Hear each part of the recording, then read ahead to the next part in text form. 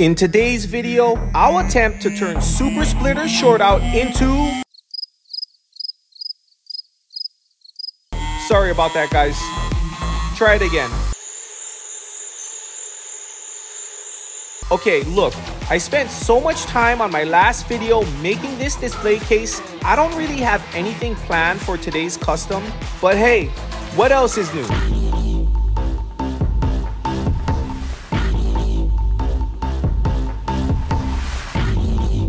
What's up everyone?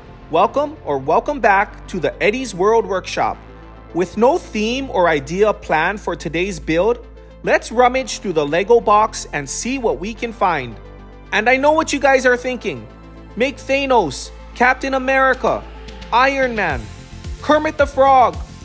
It's not like I've run out of ideas. It's just that I like to really plan out each build and sometimes even order special parts. And it just so happens that this week, I'm a little unprepared. So I figured, why not make an original custom warrior? I really like this shark head. I don't know where it's from, but it's perfect for today's project. He looks really menacing and his teeth kind of remind me of nose art from an attack aircraft. Those were all pictures of the A10 Thunderbolt.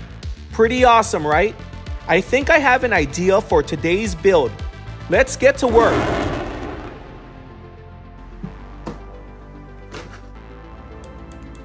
I'll carefully take off Shortout's weapons and head so we can use them in a future project.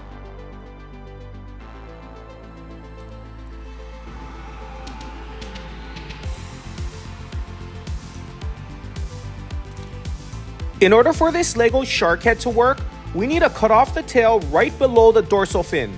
But I think the tail looks good, and I just might have an idea that'll allow us to keep that look. First, I'm gonna cut the tail into four segments.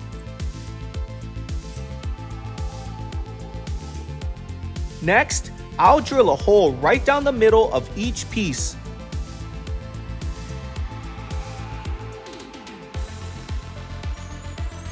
And finally, I'll glue them to some nylon string, leaving little gaps in between each segment. Those gaps will allow for movement.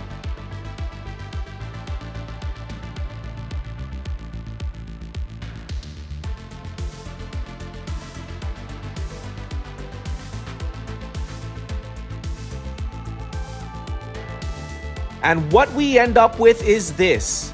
That'll definitely work and nothing out there even looks close to this guy. I'm gonna be adding details to our figure's shoulders and head, so we need to grind off whatever these things are and his mohawk.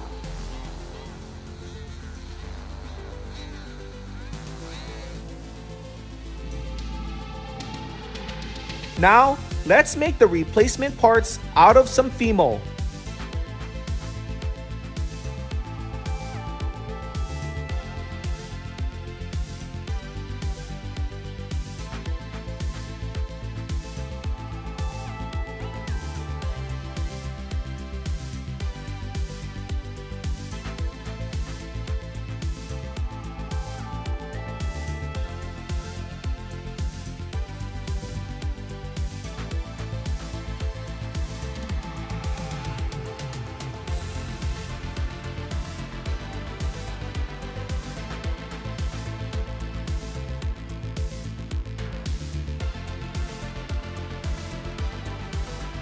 I couldn't get the engines to the exact shape I wanted, but the hardened Fimo can still be contoured with a filing tool. Before we super glue these twin turbofans on, I'll round down the shoulders for a snug fit. And now, we are ready to paint.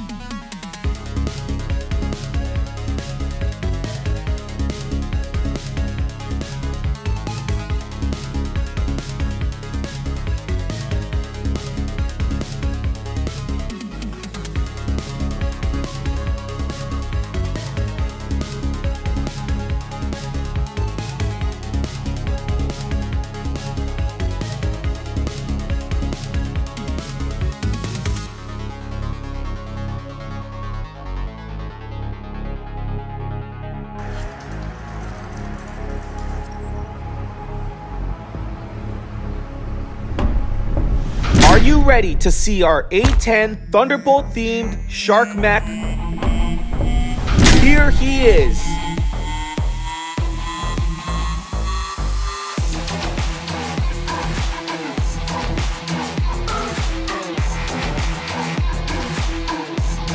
I decided to name him Thunderbolt.